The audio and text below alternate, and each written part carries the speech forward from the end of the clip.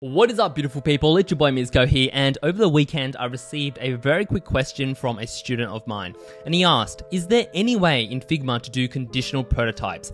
I.e., prototype if someone selects one or more required list items, the, we then enable and show the next button.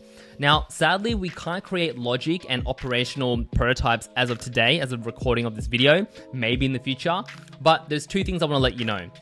First, there is definitely a workaround where you can emulate the idea of logic within your Figma prototypes.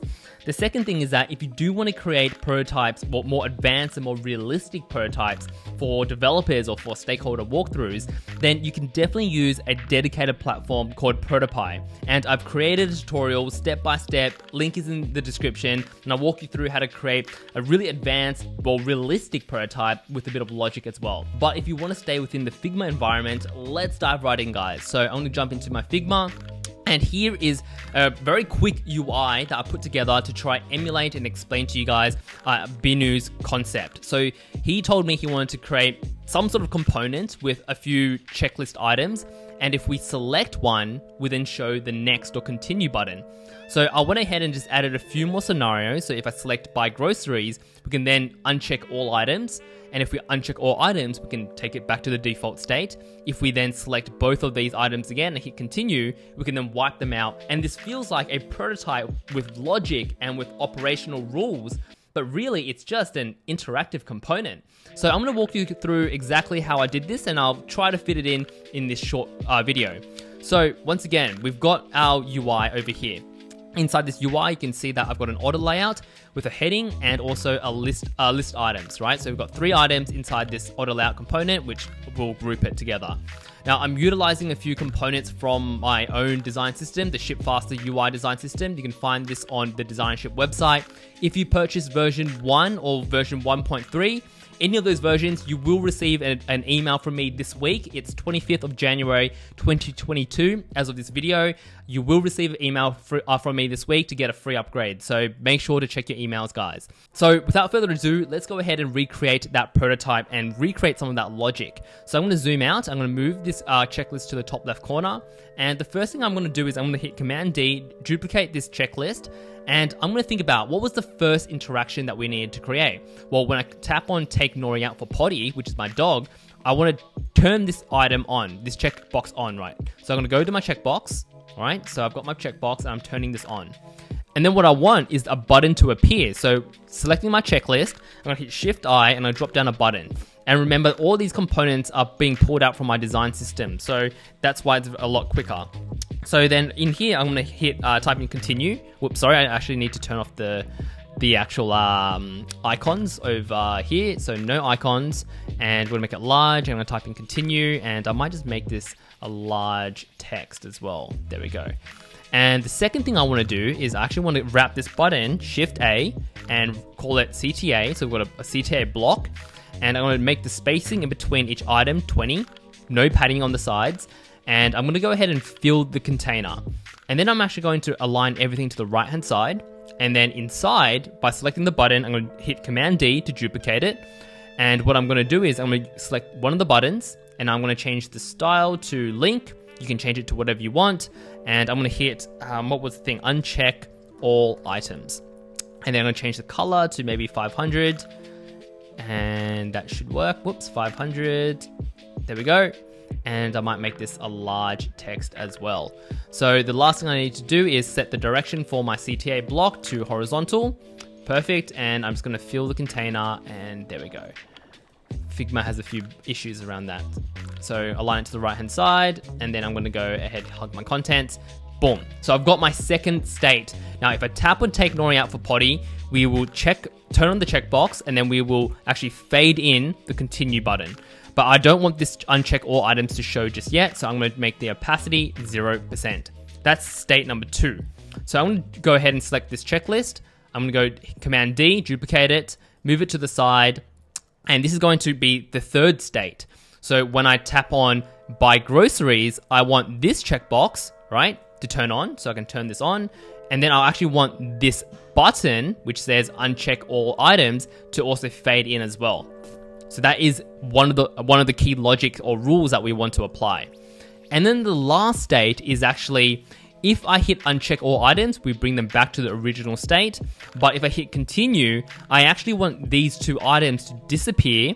And I also want the buttons to also disappear as well. So I'm gonna go ahead and select these two items and I'm to go and change the height to one pixel because I actually want it to collapse. But I can't change it because the resizing is set to hug contents. It's overriding the fixed height. So I'm to change this to fixed height, change the height to one, and then change the opacity to 0%. And then I'm going to go ahead and do the same for the button, the CTA uh, button as well. So change the hug to fixed, change the height from 52 to 1, and then change all the uh, content inside by hitting enter and selecting everything inside the container to 0%. There we go. And we've got the fourth state as well. So from here, it's actually very, very easy. It's very, very simple to do. So we can then make sure we just hit Option L on our keyboard. I'm just gonna go ahead and rename this checklist to default state. And then I'm gonna rename this one to um, selected. All right, it could be selected whatever you want. And then for this one, it could be selected, selected uh, more. And then this one could be continued. All right. Obviously, we can think about the name conventions. This is not the purpose of the tutorial. The tutorial is to show you how to create this uh, logic in our prototypes. Highlight them all, go to components, create component set. That brings it all together, right? So now we just need to go ahead and link them up. Now, there are a few ways that we can go ahead and link this up. For this checkbox, this checkbox is already an interactive component uh, built within our design system. So if I go ahead into our media and show you the actual input over here, if I show you this prototype, you can see that these are already linked up. So inside a prototype, if I ever click on a checkbox, it will automatically animate and turn the component into a checkbox. Um, so I don't want to check so in this prototype specifically, I just want someone, as long as they tap on this entire row, I will move them over to here. So in my prototype, I can go ahead and link this over to the second scenario based on a smart animate with an ease out of 300 milliseconds. And then if I go ahead and tap on buy groceries, I can then move them over to this state, right? The same settings, smart animate, ease out 300 milliseconds. If I click on uncheck all items, this takes me back to the default state Smart Animate ease out to 300 milliseconds. And then if I hit on continue, that will actually bring me to the end state with Smart Animate ease out through 300 milliseconds. So once that is all done, we've actually recreated the logic and emulated this experience. I can go over to my main, another file, hit Shift I, type in checklist, and actually, I might rename this this component to checklist new, just so I don't override the old one that I showed you previously. So in here, Shift I, checklist, and I can show you checklist new.